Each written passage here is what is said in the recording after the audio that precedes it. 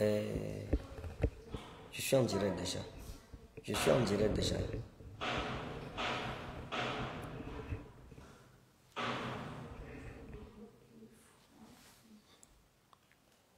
Je suis en direct.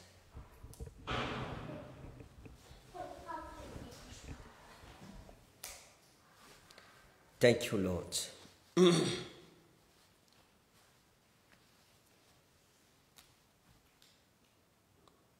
Voilà. Bonjour à chacun. Ça, c'est un direct très, très. euh, un direct surprise.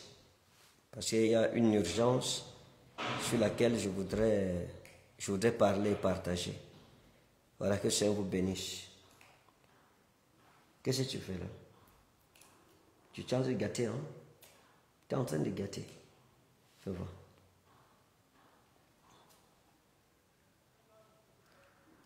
Tu es en train de gâter. Ah oui? Tu voulais gâter? Voilà, que Dieu vous bénisse au nom souverain de Jésus de Nazareth. J'espère que le son est bon. Euh, par la grâce du Seigneur Jésus, nous sommes en train de voir cette nouvelle journée et c'est le vendredi de la nuit des flammes. Ce soir, à partir de 21h, nous serons à la bire pour toute la nuit dans la présence de Dieu. Dans ceux qui ne savaient pas, tout à l'heure, mon esprit est dans la prière, dans les préparatifs.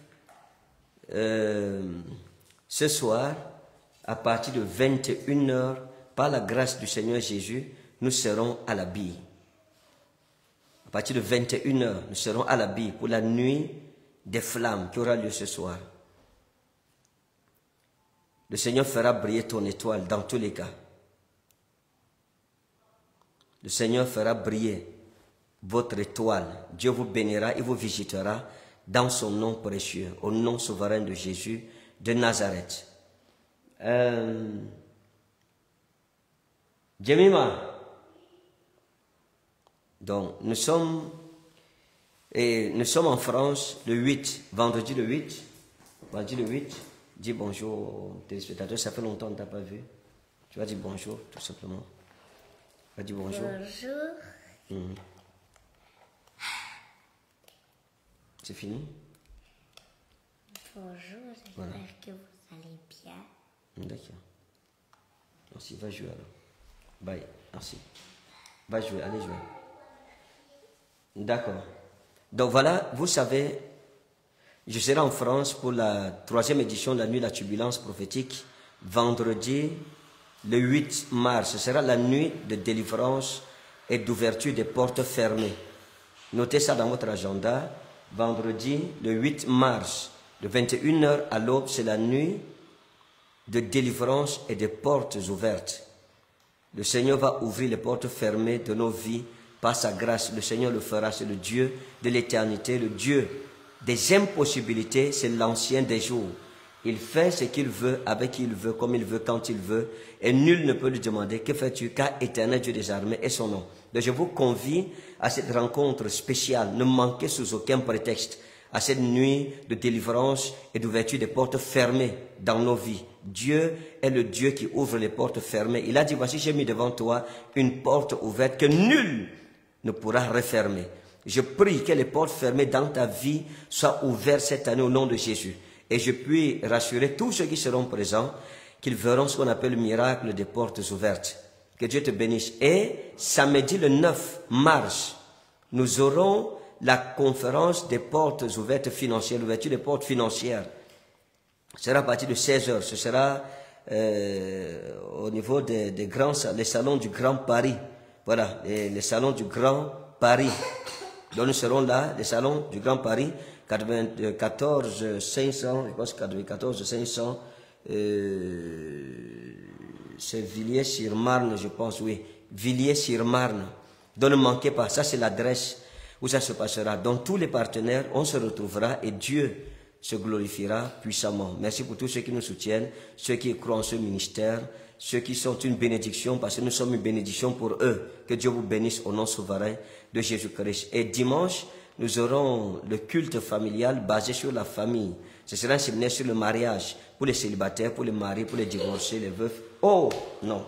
Et le Seigneur se manifestera puissamment dans nos vies. Que le Seigneur vous bénisse au nom précieux et souverain de Jésus de Nazareth. Allez là-bas. Allez. Allez là-bas. Allez. Là-bas. Donc, je voudrais profiter pour inviter tous les bien-aimés en vous disant prenons ces choses au sérieux.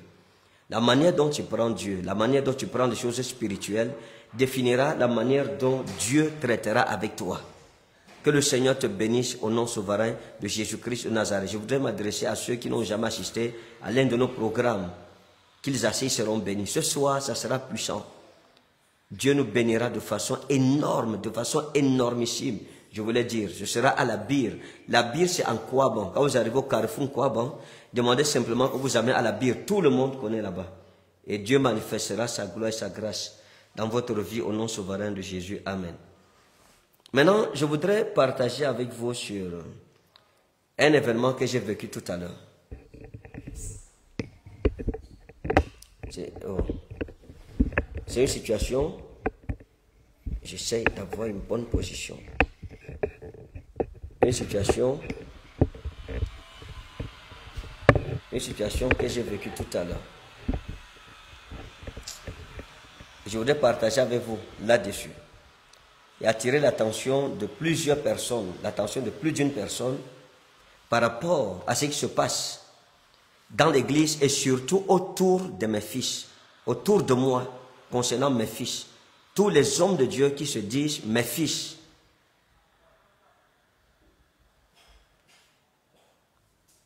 Tous ceux qui disent être mes fils. Il faut faire attention. Je pense que les gens doivent comprendre que j'ai une vision et j'ai des principes dans le ministère que je protège. Tout à l'heure, le Seigneur m'a amené à voir une scène et il m'a dit, voilà les choses qui se passent sous ton dos. Voilà ce que tes fils font. Le Seigneur m'a dit, va, mets-toi à tel endroit, regarde, écoute ce que tu vas écouter. Écoute et vois ce que ton fils fait. Et je suis allé, je me suis tenu où le Seigneur m'avait dit de me tenir. Et pendant que j'étais là, il y avait un de mes fils qui parlait au téléphone avec une dame. Et le Seigneur m'a fait entendre et écouter tout ce qu'il disait à la jeune dame. Et il ne m'a pas vu, j'étais à côté de lui. Il était juste en face de moi. Et j'ai été choqué. J'étais hors de moi, j'étais hors de moi. Ça m'a étonné.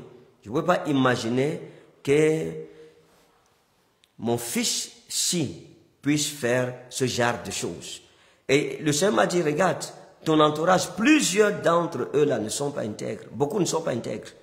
Beaucoup utilisent la filiation, l'appartenance à la famille Réma pour pouvoir avoir joui de certains avantages matériels et financiers auprès de beaucoup de personnes. Alors qu'est-ce que j'ai vu? Qu'est-ce que j'ai entendu? Je l'ai entendu parler au téléphone avec une dame, avec une brebis. Il disait à la dame de lui envoyer une offrande. Il fallait que la dame envoie l'offrande. C'était important de lui envoyer cette offrande. La dame lui a dit, ok, je vais envoyer l'offrande ce soir. Et lui, il dit à la dame, ce soir c'est trop vague. Il faut donner une heure. Ne joue pas avec l'offrande. Il faut donner cette offrande parce que c'est important. Parce que quand Dieu donne une injonction, il faut la respecter. J'ai failli tomber à la renverse. J'ai failli tomber à la renverse. C'est un de mes fils qui est proche. Il est proche. Et donc, après, je l'ai appelé. Et je lui ai posé la question suivante. Mon fils, ça fait plus de dix ans que tu es avec moi. Plus de trente ans que j'enseigne la Bible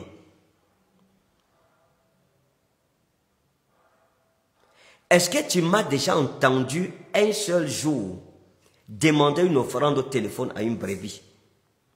Est-ce que tu as déjà entendu ça un jour? M'as-tu déjà suivi? Demander 5 francs à quelqu'un? Demander l'argent à quelqu'un? Dire à une brebis, envoie-moi l'argent? As-tu déjà suivi ça un jour? C'est mon fils. Je lui ai dit, tu tires avantage du fait que on te voit à la télé toujours à côté de moi. Tu es toujours près de moi. Les gens te voient, tu es parmi mes fils les plus proches. Maintenant, tu tires cet avantage pour demander à une brebis de t'envoyer l'offrande. Et la brebis dit, je vais envoyer ce soir. Tu lui dis, ce soir, c'est vague. Donne une heure. Il faut envoyer l'offrande, il ne faut pas jouer avec. Je lui ai demandé, cette brebis va te respecter comment? Elle va te respecter comment? Quelqu'un dit que, ok, je vais envoyer l'offrande le soir. Et tu lui dis, tu lui mets la pression. tu lui mets la pression. Il faut envoyer ce soir. Ce soir, c'est vague. Donne-moi une heure faut pas laisser la journée passer, il faut envoyer cet argent aujourd'hui. Je lui ai dit, cette personne-là va penser quoi de toi? Que tu es un pasteur cupide. Elle ne va pas te respecter du tout. Elle n'aura aucun égard pour ta personne. Pourquoi? Pourquoi? Parce qu'elle va se dire, mais quel est ce genre d'homme de Dieu qui me met la pression pour l'offrande, qui met, qui met, qui, ah bon ça mon fils pour Serge Ministry, et Serge comme, qui met qui, met l'emphase sur l'offrande, il me met la pression. Je lui ai dit, depuis que tu me connais, tu as déjà vu chez qui je suis allé demander l'argent. Personne ne peut se lever depuis que je suis né de nouveau. Plus de 30 ans aujourd'hui. Personne ne peut se lever pour dire que le prophète Khalif Ferdinand est venu m'emprunter l'argent. Me demander de l'argent. Aucune brebis, aucun de mes leaders ne peut dire que je suis venu devant lui pour demander l'argent. Même quand c'est difficile sur moi, j'ai des projets, j'ai des difficultés, je ne me suis jamais tourné vers quelqu'un. Un jour, je causais avec une de mes sœurs, euh, qui est une, grande personnalité dans cette nation, et qui a des grandes structures, qui coûtent des milliards. Je lui ai dit que je suis plus riche que toi. Elle m'a dit comment ça? Je lui ai dit, parce que toi, tu travailles avec les banques, tu t'endettes pour, réaliser tes projets. Moi, jamais. Je n'ai jamais pris de dette à personne. Je ne dois rien à personne. Personne ne peut se lever pour dire, vous voyez quand je fais mon argent. Jamais de la vie. Je ne dois rien à personne. Donc, je lui ai demandé, qui t'a appris ça? Je lui ai dit, c'est comme ça que vous faites pour salir mon nom. Vous salissez mon nom, vous salissez mon nom. Je lui ai dit, c'est donc, c'est vous les arnaqueurs autour de moi. Tu fais partie. Il m'a dit non, papa. J'ai dit, tu en fais partie. Le Seigneur a voulu que je visse ce que tu étais en train de faire. Parce que c'est ça qu'ils font. Ils mettent la pression aux gens de leur demander, de leur donner de l'argent, d'envoyer les offrandes. Et j'ai dit, quand ils vous voient à côté de moi, ils diront quoi? Que c'est moi qui vous enseigne ça. Pourtant, je ne l'ai jamais fait. Je ne l'ai jamais fait. Je lui ai dit, qui t'a appris ça? Je lui ai dit, mon fils, tu ne vas pas aller loin dans le ministère. Avec l'esprit-ci, tu n'as même pas encore commencé que tu exiges les offrandes aux gens.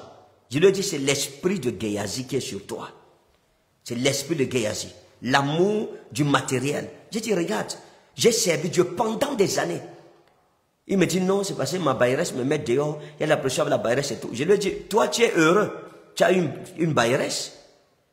Je lui dit, est-ce que tu peux, toi aussi, accepter souffrir la faim, le manquement, la disette, à cause du nom de Christ, juste parce que tu veux préserver le Saint ministère. Je lui ai demandé, est-ce que tu peux dormir sur les vérandas et dans, à la belle étoile, dans les marchés? J'ai dit, moi j'ai dormi dans Yaoundé, dans des marchés. J'ai dormi sur les vérandas des gens. J'ai dormi dehors, à la belle étoile, sans drap, sans matelas, couché à même le sol. À Douala, j'ai dormi dehors. Je me souviens un jour, le rafle m'est venu là, plus main d'abord sur moi. J'ai dormi sur la véranda d'une mosquée au quartier Makia à Douala. Je n'avais pas où dormir. Mais je n'avais jamais dit à quelqu'un, pardon, aide-moi, emprunte-moi l'argent, ou bien dis à une brebis, donne l'argent. Dieu me dit que tu dois donner une offrande. Ne joue pas avec l'offrande, mets la pression à la personne pour l'offrande. J'ai supporté patiemment le jour de mon épreuve. Aujourd'hui encore, j'ai appris à être patient et surtout à préserver ma dignité. Je ai dit, ce qui fait la richesse d'un homme de Dieu, c'est sa dignité. Lorsque Samuel est entré en contestation avec Israël, qu'est-ce qu'il leur a dit? Est-ce que j'ai déjà pris la chèvre de quelqu'un un jour? Ils disent non. Est-ce que j'ai déjà pris la brebis d'une personne parmi vous? Non. Est-ce que je suis déjà venu emprunter de l'argent chez quelqu'un d'entre vous? Israël a dit, tu n'as jamais fait aucune de ces choses, tu es un homme juste. Je lui ai dit, cette, attitude, tu n'iras pas loin dans le ministère. Tu ne peux pas. C'est la cupidité. C'est de la cupidité. Un homme de Dieu ne doit pas mettre la pression aux gens, donner des prophéties aux gens et exiger l'offrande à la personne. Non. Je lui ai dit que ça, vous salissez mon image. Et quand vous le faites, vous êtes proche de moi, les gens vont croire en vous. Parce qu'ils vont se demander, se dire que c'est comme ça que ça se passe. Pourtant, je n'ai jamais enseigné ça. Je n'ai jamais enseigné ça.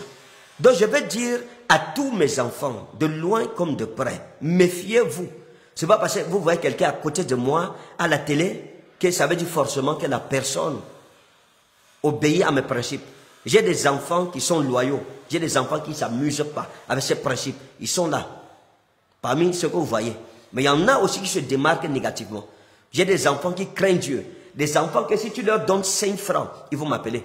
Pour dire, papa, on m'a dit comme ça. J'ai mon fils, l'un de mes fils, qui m'a, je lui ai demandé quel est le rapport de ton église, le rapport financier de ton église. Il m'a donné le rapport. Il m'a dit qu'une maman lui a donné 500 000. La maman a donné 500 000 pour l'église. Elle a donné 500 000 pour le pasteur. Elle a dit à mon fils là que ça c'est pour ton costume. Achète-toi aussi un costume. Et donc, quand il faisait le rapport de l'église, j'ai demandé la, la, caisse de l'église a combien chez vous là-bas? Et il m'a donné le rapport. Et dans le rapport, il a mis l'argent que la maman lui a donné et ça faisait plus d'une semaine, un mois même, que cette maman lui a donné l'argent là. Il n'a pas touché à ça. Je lui ai demandé, attends, mais dans le rapport de la caisse de l'église, comment est-ce que tu as mis les 500 000 qu'on t'a donné pour toi, pour que tu t'achètes un costume? Il dit que non, parce que vous ne m'avez pas donné l'ordre d'utiliser. Je lui ai dit, ah non mon ami, il ne faut pas exagérer. Si tu as prié et que par ta prière, Dieu a béni une maman, quoi que tu sois sous la couverture de ton père, c'est ta prière qui a béni la brebis, mais c'est ton argent à toi, c'est ton bien. Tu es sacrificateur et tu dois jouir de l'évangile que Dieu t'a donné. Tu as travaillé, tu dois manger. Je lui ai dit non, tu ne mets pas ce compte-là dans le compte de l'église, ce n'est pas l'argent de l'église. On n'a pas dit ça, c'est pour l'église. Tu dois garder ça pour toi. Elle t'a dit c'est pour ton costume, donc prends ça, utilise et en fais, fais ce que tu veux de ça. Voilà le genre d'enfant dont on a besoin. J'ai des enfants qui frappent les gens dans les églises, mais écoutez-moi bien, je ne l'ai jamais fait, je ne l'ai jamais enseigné. Et sachez que vous qui le faites, vous sacrifiez, vous sacrifiez votre propre avenir avec Dieu pour des choses de rien. J'ai dit à mon fils que les choses matérielles ne m'accrochent pas. Moi, j'ai un défi. Mon défi, c'est de prouver à ma génération que Dieu est Dieu, que nous sommes des serviteurs de Dieu, qu'on peut servir Dieu dans l'intégrité, dans la justice.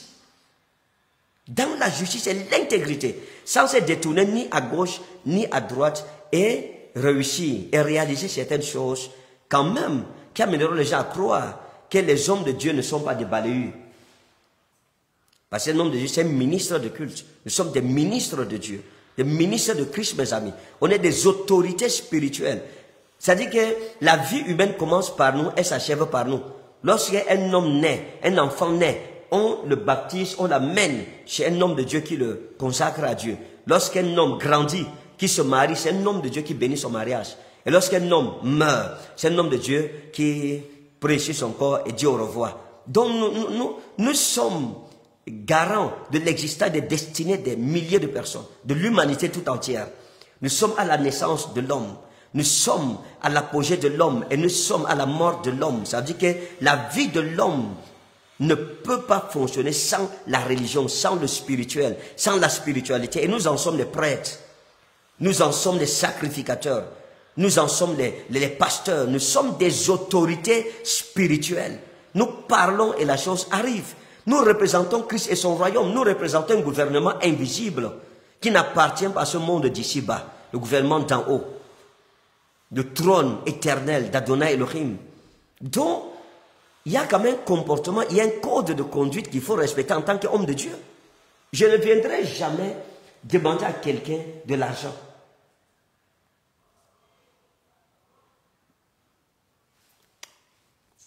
Vous allez bien? Je ne viendrai jamais demander à quelqu'un que pardonne-moi l'argent, même si je meurs, je ne le ferai jamais. Même si je meurs. On a des défis, mes amis. On a des défis. On a des grands défis, des défis. Je disais à mon fils, euh, euh, l'un de mes fils, mon gars du corps, on train de causer là, il est venu de Garoua, on est en train de causer tout à l'heure. Je lui ai dit que j'aime les défis, mon fils. Sans défi, je ne vis plus. J'aime les défis, j'aime les problèmes. Quand il y a quelque chose qui montre le sommeil, c'est là que je vis. Je tire mon existence de là. J'aime les défis, des montagnes à escalader. Mais quand les, zones de paix ne sont pas des zones de développement pour moi, donc j'ai tellement besoin des problèmes, j'ai envie de problèmes. Quand je prie, je sers le Seigneur à un certain moment, les gens ne parlent plus de moi, ne m'insultent plus. Je, demande à Dieu, est-ce que tu m'as abandonné? Est-ce que ou moi j'ai abandonné la lumière ou la justice? Donc, il faut que les gens comprennent cela. Méfiez-vous de mes fils, de ceux de mes fils, qui vous écrivent, tirent avantage de l'aura que Dieu m'a donné, de l'onction que le Seigneur m'a donnée, de l'alliance que je porte. Comme Géasi l'a fait de l'aura de son père, pour escroquer les brebis au nom des révélations ou des prophéties. Je n'ai jamais prophétisé sur quelqu'un et demandé à la personne de me donner l'offrande. Je n'ai jamais fait ça. Jamais de la vie. Je n'ai jamais fait. Personne ne peut se lever pour dire que le prophète Karen Ferdinand a prophétisé sur moi, ben il a prié sur moi, et puis il m'a dit il faut payer l'argent. Tu payes d'abord la facture. Non, j'ai jamais fait ça. Et je le ferai jamais. Et le Seigneur me gardera. Donc, tout fils dans mon environnement qui vous demande l'offrande, vous pouvez donner l'offrande à un de mes fils parce qu'il vous suit et prie avec vous. Le Seigneur vous bénit. Vous voyez l'efficacité de ses prières. Et Dieu vous met à cœur de lui donner une offrande. J'ai eu un de mes fils qui m'a dit euh, l'autre jour ici, il dit, papa, euh, papa, voilà, il y a une maman en France qui m'a dit qu'elle veut mon numéro de téléphone pour m'envoyer une offrande. Je lui ai dit, mais vas-y. Si quelqu'un se lève pour dire, je veux t'envoyer une offrande, c'est que la personne bénit par ton ministère. Il dit, donne-lui ton numéro et qu'elle t'envoie l'offrande. L'ouvrier mérite son salaire. Donc, c'est ce, genre d'enfants dont on a besoin. Voilà les enfants qui vont aller loin. Moi, j'ai grandi avec mon papa spirituel. Il faut que les gens le comprennent. Ça, il y a la nuit de prière tout à l'heure. Je devais même être en train de me reposer, de prier. Mais ce dirait, il fallait que je le fisse absolument. Tout à l'heure, 21h, je serai à l'église au niveau de la bire. On va travailler fort et dur. On va préparer aussi le culte des familles le 25, 25 euh, février. Après ça, j'irai en Europe pour les programmes de la France. Non, mes amis, j'ai grandi avec mes pères spirituels. Lorsqu'on me donnait 5 francs dehors, je ramenais ça à mon père. Je disais, papa, voici ce qu'on m'a offert. Lorsque quelqu'un me donnait l'argent, je venais, je prenais cet argent et je dis, papa, voici l'argent qu'on m'a donné. Lorsque les filles, une fille m'écrivait au lycée, une lettre d'amour, disant, oh, oh Ferdinand, je t'aime et tout ça, je prenais la lettre là pour aller donner à mon père spirituel que papa, ne vous couchez pas au sol. Couchez-vous là. S'il vous plaît, venez ici.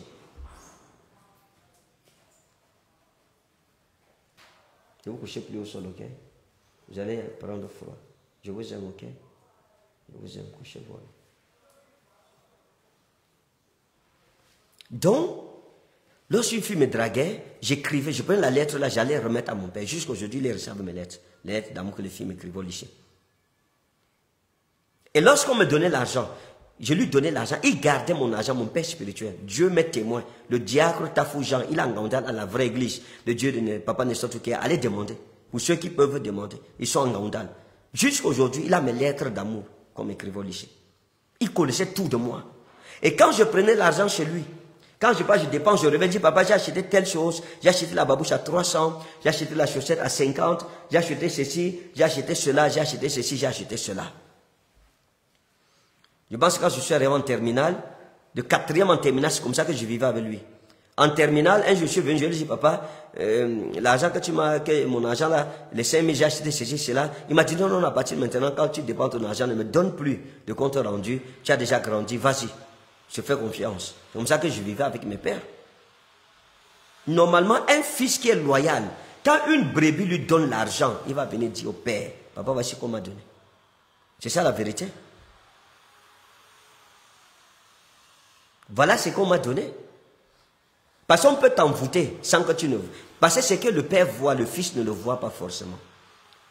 Lorsque le prophète Samuel a refusé de prendre les biens de, de, de, de, Naaman, allait prendre ça. Quand il a pris, qu'est-ce qui s'est passé? La lèpre s'est attachée à lui. Non, mes amis, on ne sert pas Dieu comme ça. La cupidité est un piège dans le ministère. La cupidité est un piège pour le ministère.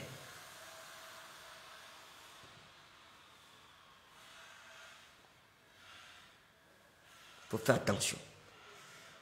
Donc, si quelqu'un, dans mon entourage, vous demande l'argent, vous prie pour vous, vous demande d'envoyer une offrande de connexion, je ne leur enseigne pas ça. Ça ne vient pas de moi. Je n'ai jamais prié pour quelqu'un et j'ai dit à la personne, donne l'offrande de connexion.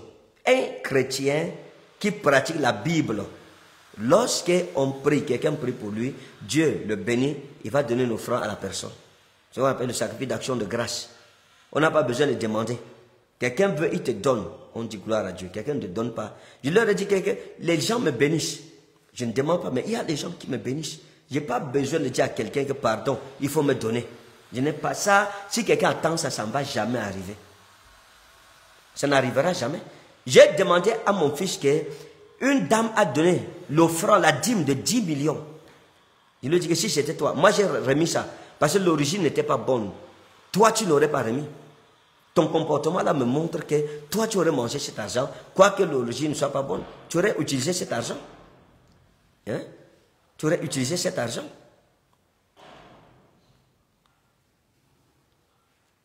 J'étais en Europe lorsqu'il y a une, une de mes filles là-bas qui a décidé de donner une grosse offrande, une grosse offrande à l'église. Et puis mes enfants m'ont dit qu'elle a demandé qu'avant de donner l'offrande, elle veut d'abord me rencontrer. Je leur ai dit que si c'est conditionné, dis-lui de laisser tomber. Si l'offrande là, c'est pour qu'elle fait qu'elle donne, vraiment qu'elle laisse tomber. Mais si c'est l'offrande qu'elle donne à Dieu, elle ne conditionne pas. Je leur ai dit non, non, ça va, laisser. Laissez tomber. Faut laisser tomber. Pourquoi, mes amis? Parce que j'ai un honneur à défendre en tant qu'homme de Dieu. Il y a un honneur à défendre. Il y a un grand chanteur au Cameroun ici. Le Seigneur m'a dit, non, il m'a appelé. Il m'a appelé ça en 2009. Il m'a appelé. Il peut témoigner de ce que j'ai dit là. Il a appelé au téléphone. Il m'a dit c'est elle. C'était son vrai nom. Moi, je ne connaissais pas son vrai nom. C'est quand il me donne son nom d'artiste que je me rends compte que, ah, waouh, c'est l'une des plus grandes stars au Cameroun, et en Afrique, et dans le monde entier. Il me dit vraiment, il a suivi un de mes documentaires et mes enseignements, et il est convaincu que par moi, Dieu peut l'aider parce qu'il a des problèmes. Il voudrait que je vienne prier pour lui. Je lui ai dit que je vous réponds demain, parce que je vais consulter Dieu. La nuit, pendant que je consultais le Seigneur, le Seigneur m'a dit, vas-y, va chez lui. Je suis allé. Le lendemain, je l'ai appelé, je viens. J'étais à Yaoundé, je suis allé à Douala chez lui. Quand je suis arrivé à Douala, euh, il était dans sa cour avec ses danseuses, il était en culotte. On est entré dans son salon, j'ai vu quelqu'un de orgueilleux, il a une grande maison, une belle maison et tout ça. Et donc on est arrivé là-bas et puis euh, je lui ai donné la parole de l'Éternel. Je lui ai dit, le Seigneur me dit de vous dire, de vous repentir. Il m'a dit qu'il partait en Israël pour sa santé. Je lui ai dit que même si vous partez jusqu'à la Mecque, vous ne serez pas guéri. Mais le Seigneur m'a dit que si vous l'acceptez comme Seigneur sauveur personnel, vous abandonnez vos mauvaises voies, vous abandonnez les marabouts, vous abandonnez la vie de débauche, le Seigneur sera votre Dieu et votre médecin. Même si n'importe quel homme de Dieu vient ici, quelle que soit la longueur de sa soutane ou la grosseur de sa Bible, pour vous dire que Dieu va vous guérir, il vous ment. Il est resté tranquille. Avant de prier, je lui ai demandé s'il a quelque chose à dire. Il m'a dit tout ce que je veux vous dire, c'est que j'ai reçu dans cette maison des imams, j'ai reçu des cardinaux. Il m'a donné le nom des cardinals. Ils sont venus, ils m'ont dit ce que je voulais entendre, ils m'ont donné, ils ont pris mon argent, d'énormes sommes d'argent. Mais vous êtes le seul homme de Dieu qui m'a dit la vérité. Le seul qui m'a dit la vérité en face. Et il m'a dit, je ne savais pas que les vrais hommes de Dieu existent. C'est que je vous raconte si Dieu m'est témoin. Et quand j'ai fini de prier sur lui, il s'est levé, il a enlevé dans sa culotte, la derrière, la poche arrière, une grosse enveloppe. Et il m'a tendu. Et le Seigneur m'avait dit quand je partais chez lui, tu ne buvras point d'eau chez lui, tu ne mangeras pas de pain chez lui, tu ne prendras ni or ni argent, tu entreras et sortiras comme tu es entré. Et j'étais accompagné de deux jeunes prophètes. Quand il m'a tendu l'enveloppe, je lui ai dit non, non, ça va, que Dieu vous bénisse. Je n'ai pas besoin de ça. J'avais emprunté l'argent chez une soeur, j'avais supplié une soeur de me donner l'argent. Elle m'avait donné l'argent pour aller à Douala payer mon transport. Je n'avais pas l'argent pour revenir. Je n'avais pas l'argent pour donner. C'est une soeur qui m'a aidé. Avec 1500 pour prendre le, bus et revenir à Yaoundé. Les deux jeunes prophètes qui étaient avec moi m'ont dit que, mais attends, pourquoi tu as révisé l'enveloppe? Je leur ai dit que je vous ai dit ce que la parole éternelle m'avait été adressée, ce que le Seigneur m'a dit de faire. Et donc, c'est ce que j'ai fait. Ils m'ont dit que bon, quand Dieu te dit de ne pas prendre ni or ni argent là-bas, et s'il a dit que nous aussi on ne doit pas prendre, il a dit toi, pourquoi tu prends ta prophétie, tu veux nous mettre ça sur la tête hein? L'autre m'a dit, ok, donne-moi quand même son numéro là. le Seigneur m'a dit qu'il y a une petite révélation que je vais lui donner. Je lui ai dit que non, non moi je ne garderai pas son numéro, j'ai effacé son numéro. J'ai effacé immédiatement le numéro de mon téléphone. Je ne plus jamais rappelé jusqu'à aujourd'hui, depuis 2009. Donc il faut que les gens comprennent. Le ministère, ça va avec l'intégrité. Lorsqu'un homme de Dieu est cupide, lorsqu'un homme de Dieu va de maison en maison pour poser des problèmes aux brebis, il ne sera pas respecté. Je ai dit, et c'est comme ça que vous allez dire qu'on ne vous respecte pas, qu'on vous méprise. C'est vous-même qui amenez les brebis à vous mépriser. Un pasteur qui toujours est dans la maison des brebis pour demander, quémander, demander la nourriture, demander l'argent, demander le savon. Waouh! Demander telle chose ou telle chose il sera respecté comment? Qui va respecter un tel homme de Dieu? Personne. Il faut apprendre à couvrir notre nudité en tant qu'homme de Dieu. Couvre ta nudité. Même si vous êtes en train de mourir, va devant Dieu qui t'a appelé. Mets tes genoux par terre, crie à Dieu. Ce n'est pas les brebis qui m'ont appelé. C'est Dieu qui m'a appelé. Donc si c'est mauvais, je mets le fardeau sur Christ, pas sur les hommes. C'est à lui maintenant de toucher le cœur d'une brebis. Et la brebis va se lever et pour dire, ok, je vais bénir l'homme de Dieu. Je, je vais le bénir. Je serai une source de grâce et de bénédiction pour l'homme de Dieu. Vous voyez? Non, sincèrement. Mais si tu es dans la maison des brebis, tu prends l'argent chez tes brebis, tu empruntes l'argent chez les brebis, ton ministère va grandir comment? Tes brebis ne vont pas te respecter. Et il faut savoir une chose, ton créancier, ton créancier a un pouvoir sur toi. Parce que la main qui donne est au-dessus de celle qui prend. Une brebis, waouh Tu vas faire le grand écart. Une brebis, c'est pas possible. Une brebis qui te prête de l'argent va commencer à te manquer de respect. Elle va te manquer de respect. Et si la date de paiement que tu as donnée est dépassée, cette brebis-là va te harceler. Elle va te harceler, mon ami. Imagine-toi que ta brebis soit ton bailleur. Même si supporte, il supporte, finalement, un jour, elle va te dire, papa, vraiment, avec tout le respect, elle serait un peu gênée, pardon, mon argent. Comment tu seras encore respecté? Tu ne seras pas respecté. Donc, il faut apprendre à couvrir sa dignité. Un homme de Dieu doit préserver sa dignité à tout prix.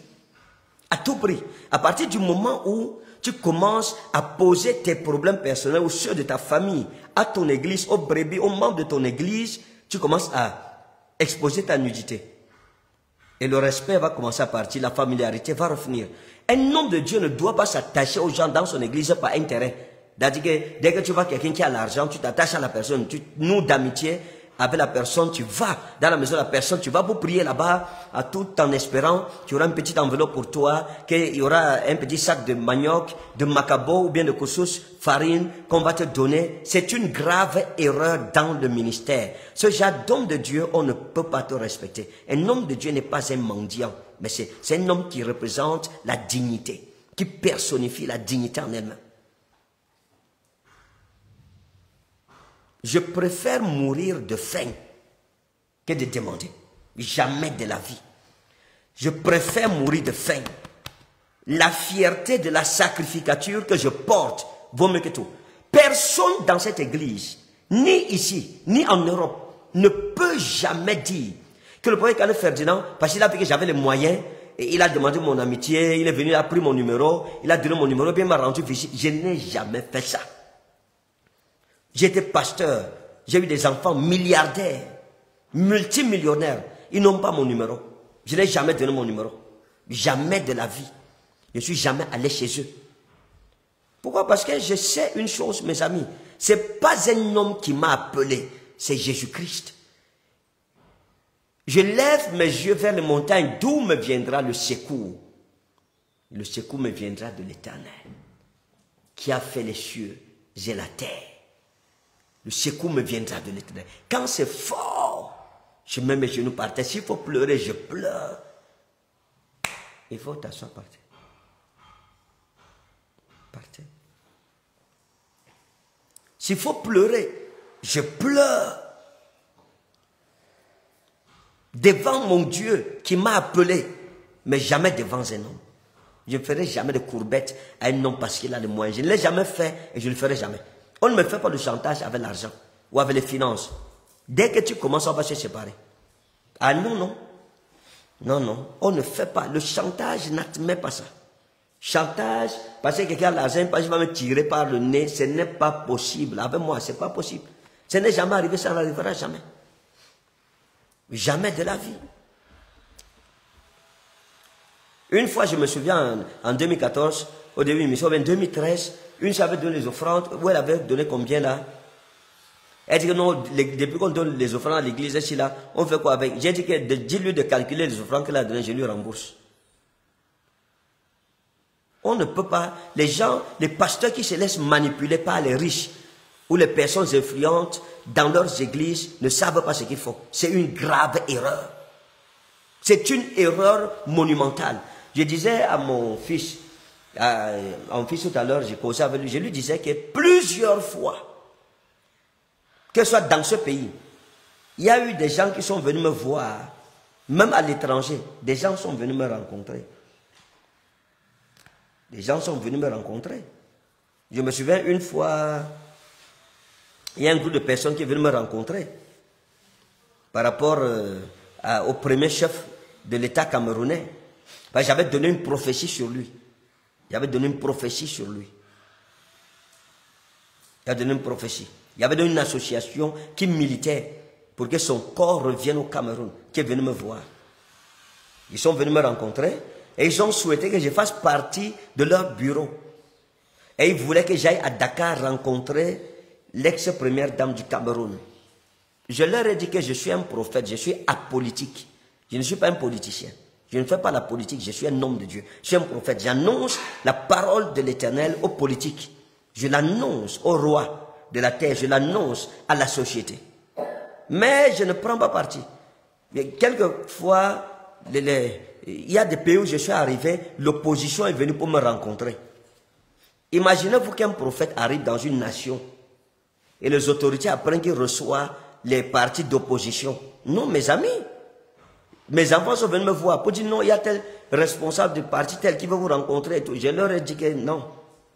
Je ne reçois pas les partis d'opposition. Non, non. Je ne veux pas de confusion dans mon ministère. Je ne veux pas de confusion dans mon ministère. Je ne suis pas un homme politique. Je ne veux pas. La Bible nous enseigne de soutenir l'autorité qui est au pouvoir. C'est simple. Je ne peux pas commencer à recevoir n'importe qui, et puis c'est un désordre. Finalement, vous n'êtes plus un homme de Dieu. Vous perdez de vue ce que le Seigneur vous a demandé de faire. Je ne soutiens pas, ça, j'ai pas de parti pris, je suis un homme apolitique. Je fais ce que la parole de Dieu me demande de faire.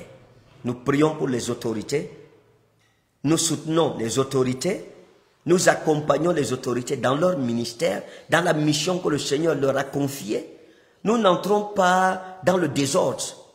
Ah non, non. Ni à gauche ni à droite. Ça, personne ne peut se lever dans cette nation pour dire que voilà.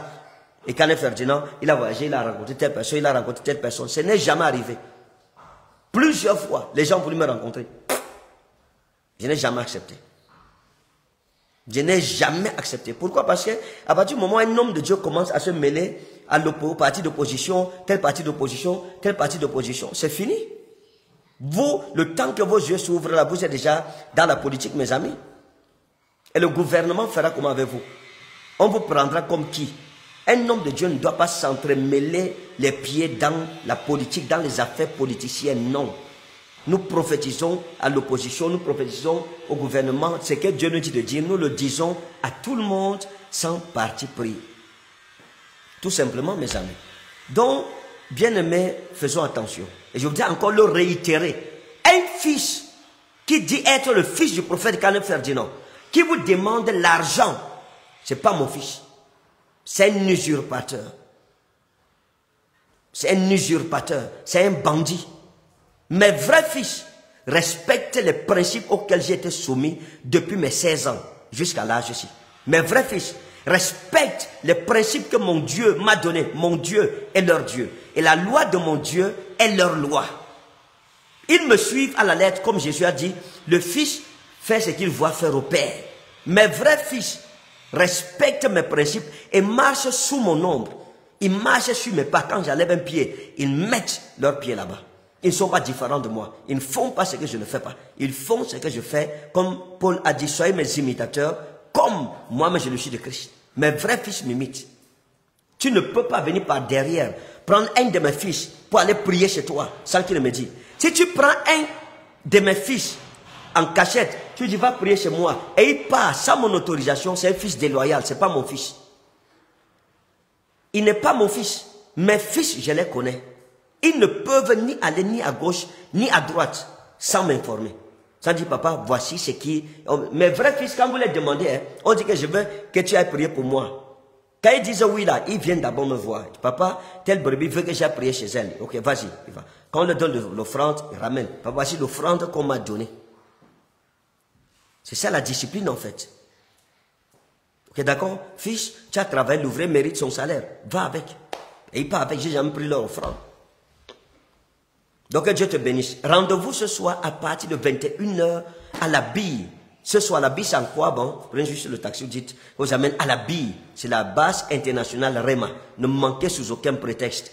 Et pour ceux qui ne pourront pas être là, soyons nombreux, massivement connectés au direct de cette nuit de prière. Dieu va se manifester puissamment. C'est la nuit des étoiles qui brille. Dieu se manifestera. Et je suis en France pour la troisième édition de la nuit de la turbulence prophétique intitulée La nuit de la délivrance et de l'ouverture des portes fermées dans les familles. Ce sera vendredi le 8 mars de 21h à 5h du matin. Et le samedi à partir de 16h, nous aurons la conférence des partenaires sous le thème Ouvrir les portes des finances. L'ouverture des portes des finances. Dieu va te bénir. Je vais oindre tous ceux qui seront présents, leur main droite et leur main gauche. Ce sera le 9 mars à partir de 16h. Ce sera, euh, ce sera au niveau des salons du Grand Paris. Les salons du Grand Paris. 94 500 Villiers-sur-Marne. Soyons très nombreux là-bas pour la conférence des partenaires, je compte sur toi. Je sais que tu aimes le Seigneur, tu aimes ce ministère, tu veux qu'il aille très loin, alors sois partenaire et le Seigneur te bénira. Cette tension ouvrira des portes financières dans ta vie. Donc le thème, c'est l'ouverture des portes financières. Et dans ceux qui ont des projets, qui ont des enfants, qui ont, sont footballeurs, etc., etc., alors venez, le Seigneur manifestera le génie de nos enfants. Et par la grâce du Seigneur Jésus-Christ, dimanche, les 11, hein, le 10, Vendredi le 8, samedi le 9 et dimanche le 10. Donc dimanche le 10 là. Hein? Ouais, je me suis trompé de jour, tu sais. Alors dimanche le 11, non, le 10, à partir de 10 heures, à partir de 10 heures, nous avons le culte des familles.